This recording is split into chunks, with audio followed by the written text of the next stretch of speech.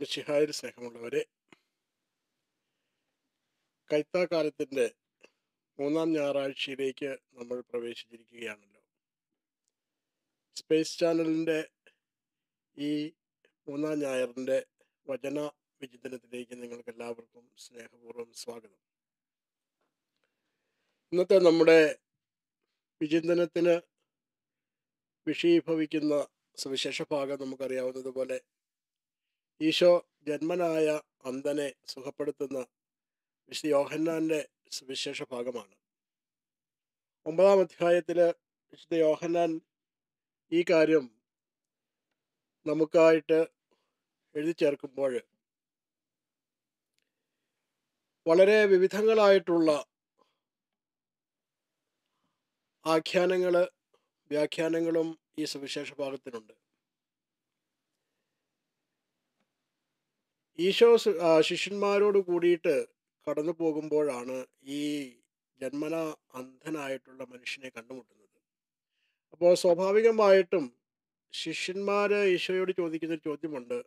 ഗുരു എന്തുകൊണ്ടാണ് ഈ മനുഷ്യൻ ജന്മന അന്ധനായിരിക്കുന്നത്? ഇവന്റെ പാപം കൊണ്ടോ അതോ ഇവന്റെ മാതാപിതാക്കളുടെ പാപം കൊണ്ടോ? ഇതൊരു സ്വാഭാവിക ചോദ്യമാണ്. എന്തുകൊണ്ടെന്നാൽ ഈ യഹൂദരെ സംബന്ധിച്ചിടത്തോളം അവരുടെ വിശ്വാസ സംഹിതയിൽ അന്ധത മുടന്ത് അതുപോലെ മറ്റു വിധത്തിലുള്ള കുഷ്ഠം അങ്ങനെയുള്ള സ്വാഭാവികമായിട്ടുള്ള രോഗങ്ങൾ പലതും പാപത്തിന്റെ പരിണിതഫലമായിട്ട് വന്നു ചേർന്നിട്ടുള്ള ഒരു സഹനമായിട്ടും ദൈവത്തിന്റെ ദൈവത്തിൽ നിന്നുള്ള ഒരു ശിക്ഷയായിട്ടുമാണ് അവർ കരുതിയിരുന്നത്. അതുകൊണ്ട് തന്നെ സ്വാഭാവികമായിട്ട് ശിഷ്യന്മാർ ഈശോയുടെ ആ ചോദ്യം ചോദിക്കുന്നു ആരുടെ പാപമാണ് എന്നുള്ളത്? എന്ന് വെച്ചാൽ അവിടെ ഇത് പാപം കൊണ്ടാണ് വന്നിരിക്കുന്നത് എന്നുള്ളതാണ് അതിന്റെ അവർ അർത്ഥമാക്കുന്നത്. ഈശോ വളരെ വ്യക്തവും കൃത്യവുമായിട്ട് വളരെ വ്യത്യസ്തമായിട്ടൊരു ഉത്തരമാണ് അതിന് കൊടുക്കുന്നത്. യഹൂദ മനസ്ഥിതിയിൽ നിന്നും തികച്ചും വ്യത്യസ്തമായ ഒരു ഉത്തരമാണ് ഈശോ കൊടുക്കുന്നത്. ഈശോ പറയുകയാണ് ഇത് ഇവന്റെ പാപം കൊണ്ടോ അല്ലെങ്കിൽ ഇവന്റെ മാതാപിതാക്കളുടെ പാപം കൊണ്ടോ വന്നതല്ല. മറിച്ച് ദൈവത്തിന്റെ മഹത്വം വെളിപ്പെടുവാൻ വേണ്ടി അവന് വന്നിരിക്കുന്ന ഒരവസ്ഥയാണിത്. അതാണ് ഈശോ അവനോട് പറയുന്നത്.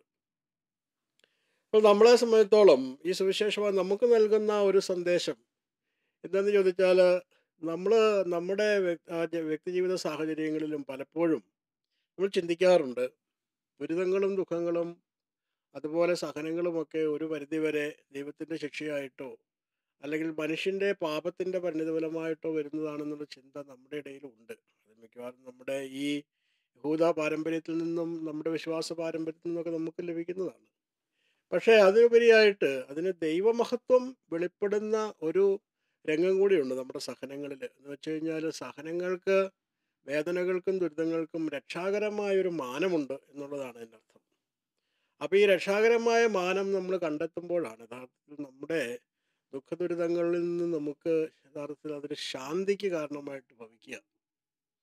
അതോടൊപ്പം തന്നെ നമ്മൾ ചിന്തിക്കേണ്ട മറ്റൊരു കാര്യം ഈ സുവിശേഷ ഭാഗത്തിൽ നമ്മൾ കാണേണ്ട ഒരു പ്രത്യേകത കാര്യം എന്തെന്ന് ചോദിച്ചാൽ ഈശോ ഈ അന്ധനെ സുഖപ്പെടുത്തുന്നതിന് മുമ്പ് ഈ അന്ധനായ മനുഷ്യൻ അവൻ അന്ധനായതുകൊണ്ട് തന്നെ ഈശോയെ കാണുന്നില്ല.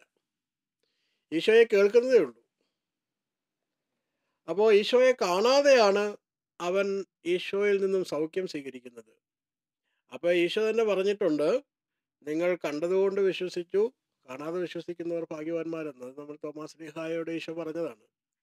നമുക്കറിയാം ആ വിശ്വാസത്തിന്റെ ഒരു ഒരു മഹത്തായ ഒരു തലത്തെ തലത്തിലൂടെയാണ് ഈ അത്ഭുതവും കടന്നു പോകുന്നത്. അന്ധനായ മനുഷ്യൻ ഈശോയെ ദർശിക്കുന്നില്ല. മറിച്ച് അവൻ ഈശോയെ ശ്രവിക്കുകയാണ്. ശ്രവണം ശ്രവണത്തിലൂടെ ദൈവസാന്നിധ്യത്തിന്റെ നേരറിവ് അവൻ ഉണ്ടാകുമ്പോൾ അവന്റെ ആത്മാവിൽ ദൈവസാന്നിധ്യത്തിന്റെ നിറവുണ്ടാവുകയും അത് അവന് ആന്തരികവും ബാഹ്യവുമായ സൗഖ്യത്തിന് കാരണമായി തീരുകയും ചെയ്യുകയാണ്. അതിനുശേഷമാണ് അവന് ദർശനമുണ്ടാകുന്നത് ഈശോയുടെ ദർശനം ഉണ്ടാകുന്നത് അപ്പം നമുക്ക് ദൈവദർശനം ലഭിക്കണമെങ്കിൽ ഒന്ന് നമുക്ക് ആന്തരികമായ സൗഖ്യവും ആന്തരികമായിട്ടുള്ള ദൈവീകമായിട്ടുള്ള ദൈവസാന്നിധ്യത്തിന്റെ അനുഭവം ഉണ്ടാകണം. രണ്ടാമത് ദൈവസാന്നിധ്യത്തിന്റെ നേരറിവ് നമുക്കുണ്ടാകുന്നത് നമ്മുടെ ശ്രവണത്തിലൂടെയാണ്. ദൈവവചന ശ്രവണം അത് ഏറ്റവും പരമപ്രധാനമായ ഒന്നാണ്. ആദിവചനം അത് മനുഷ്യനായി തരുന്ന മിഷിഹായാണെങ്കിൽ ആ മിഷിഹായുടെ വചനമാണ് നമ്മെ നയിക്കുന്നത്. ഈ വചനശ്രവണം ഇന്ന് നമ്മളെ സംബന്ധിച്ചിടത്തോളം അത്രയൊന്നും പ്രാധാന്യമുള്ളതായി നമ്മൾ കാണുന്നില്ല. നമ്മൾ പലപ്പോഴും വചനം ശ്രവിക്കുന്നതിനപ്പുറത്തേക്ക് വചനത്തെ വ്യാഖ്യാനിക്കാനും അതിന്റെ വ്യത്യസ്തങ്ങളായ തലങ്ങളിലേക്കുള്ള വ്യാഖ്യാനങ്ങളെ വായിച്ച് മനസ്സിലാക്കി അതിന്റെ ബൗദ്ധിക തലത്തിൽ അതിനെ അതിനെ നമ്മൾ കാണുകയും അതിനെ വിലയിരുത്തുകയും ചെയ്യുന്ന ഒരവസ്ഥയിലാണ് അവസ്ഥയിലാണ് ഉള്ളത് ഇപ്പോഴും നമുക്ക് ശ്രവിക്കുന്ന വചനത്തെ ഉൾക്കൊള്ളാനുള്ള ആന്തരികമായ ഒരു പക്വതയും അതിനുള്ള തയ്യാറെടുപ്പുണ്ടെങ്കിലാണ് നമുക്ക് ശരിയായിട്ടുള്ള ദർശനവും അതുവഴിയായ സൗഖ്യവും ലഭിക്കുന്നുണ്ടെന്നൊരു സത്യം കൂടി ഈ സുവിശേഷഭാഗം നമ്മെ അനുസ്മരിപ്പിക്കുന്നുണ്ട്.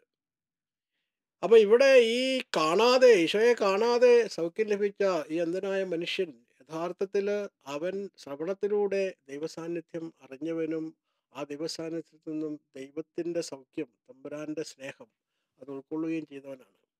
ഒന്നാമതായിട്ട് ഒരു കാര്യം അതിനകത്ത് വേറൊരു കാര്യം വളരെ വളരെ വളരെ പ്രധാനപ്പെട്ട വേറൊരു കാര്യം ഇവിടെ അടങ്ങിയിട്ടുള്ളത് ഈശോ സാധാരണ ചെയ്യുന്നത് പോലെ അല്ല ഈ അന്തനെ സുഖപ്പെടുത്തിയത്. സാധാരണ ഈശോ പറയുന്നത് നിനക്ക് സൗഖ്യമുണ്ടാകട്ടെ മരിച്ച മരിച്ചുപോയ മനുഷ്യനോട് നീ എണീറ്റ് വരിക എന്നാണ് പറഞ്ഞത്.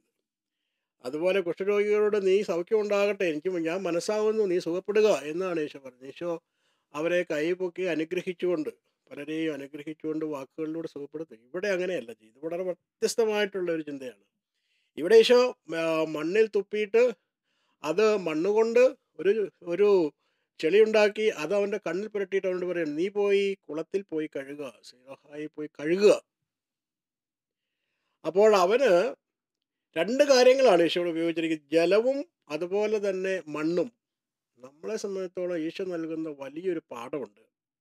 നമ്മൾ ജീവിക്കുന്ന മണ്ണും നമുക്ക് ചുറ്റുമുള്ള ഈ അന്തരീക്ഷവും നമ്മുടെ നമ്മൾക്കായി ദൈവം തന്നിട്ടുള്ള ജലവും നമ്മുടെ ഈ പ്രകൃതിയുമെല്ലാം നമ്മുടെ സൗഖ്യത്തിന് നമുക്ക് സൗഖ്യം പ്രദാനം ചെയ്യുന്ന ഏറ്റവും പ്രധാനപ്പെട്ട ഒരു കാര്യമാണ്. അതിനെ നമ്മൾ അശുദ്ധമാക്കുകയും അതിനെ നമ്മൾ അവഗണിക്കുകയും ചെയ്യുമ്പോഴാണ് നമ്മൾ യഥാർത്ഥത്തിൽ രോഗികളാകുന്നത് എന്നുള്ളത് നമ്മൾ മനസ്സിലാക്കുക. ഈ മണ്ണിനോടും ഈ ജലത്തോടും ഈ അന്തരീക്ഷത്തോടും നമ്മൾ അതിലടങ്ങിയിരിക്കുന്ന ദൈവസാന്നിധ്യത്തിന്റെ നേരറിവ് നമുക്കുണ്ടാവുകയാണെങ്കിൽ അതിന്റെ പവിത്രതയും പരിപാവനതയും ഉൾക്കൊണ്ടുകൊണ്ട് അതിനെ നമ്മൾ ഉപയോഗിച്ച് ജീവിക്കുമ്പോൾ തീർച്ചയായിട്ടും അത് നമുക്ക് സൗഖ്യത്തിന് നല്ല ദർശനത്തിന് കാരണമാകും. നമ്മുടെ എല്ലാ അന്ധതകളും ആന്തരികവും ബാഹ്യമായ അന്ധതകളും ആന്തരവും ആന്തരികവും ബാഹ്യമായ രോഗങ്ങളും മാറ്റുവാൻ തക്കവിധം പ്രകൃതിയെ അത്രമാത്രം സജ്ജമാക്കിയിട്ടാണ് ദൈവം നമുക്കായി ഈ പ്രകൃതിയെ ഒരുക്കിയിരിക്കുന്നത്.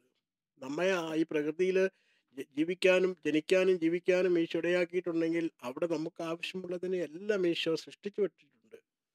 അത് മനസ്സിലാക്കുവാനായിട്ടുള്ള ആന്തരികമായിട്ടുള്ള ഒരു കാഴ്ചപ്പാടാണ് നമുക്ക് ആവശ്യമുള്ളത്. ആ കാഴ്ചപ്പാട് യഥാണ് യഥാർത്ഥത്തിലുള്ള ദർശനം എന്ന് പറയുന്നത്.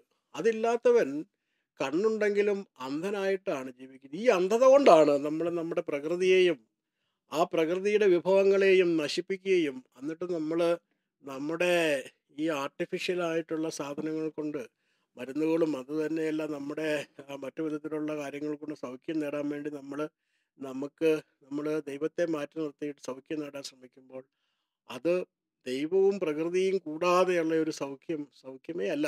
അത് ശാശ്വതമായി ഭവിക്കുന്നുമില്ല എന്നുകൂടി സത്യം കൂടി ഈശോ കാണിച്ചു തരുന്നുണ്ട്.